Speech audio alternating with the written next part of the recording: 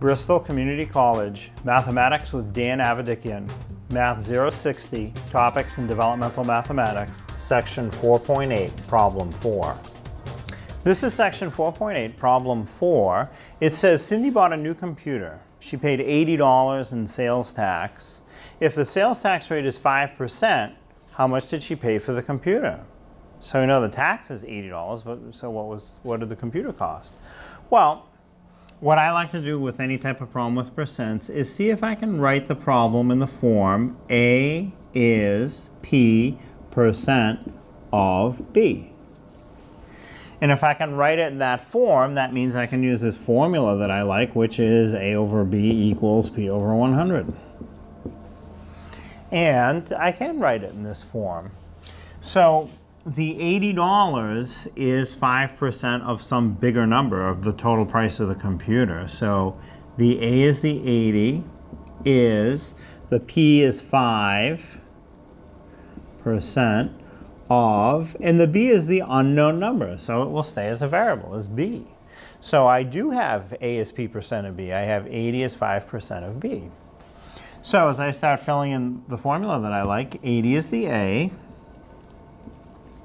the is becomes the equal sign. The P is 5. Oops. 5. The percent becomes the 100. And then the B in the denominator is the unknown. It just stays as B. So now I have an equation, one unknown value, so I can solve for the unknown, and we'll do that by cross multiplying, and we divide. So 5 times b will be 5b equals 80 times 100.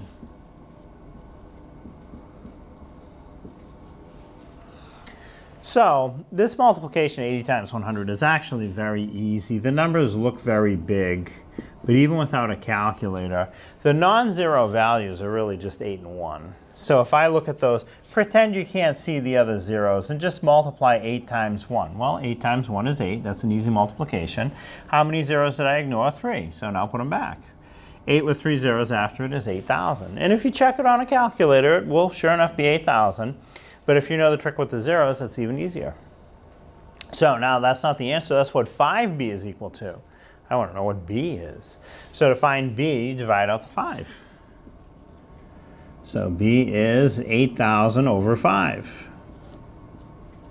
Now, if your math teacher will allow you to use a calculator, you just enter the numerator of your fraction on the calculator screen first, press the division button, enter the denominator, hit equals, and the calculator will give you the answer right away.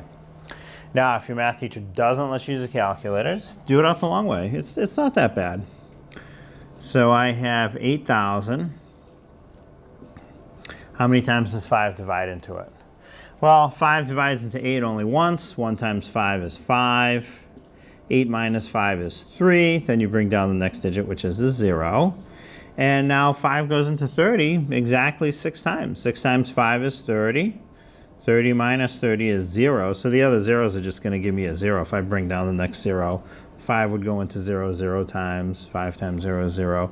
You don't really have to finish it to the end, but you'd get two more zeros. So the answer is 1600. B is 1600. So what does that mean? That means that if Cindy paid 80 $80 in sales tax and the tax rate is 5%, then the computer she bought costs $1,600.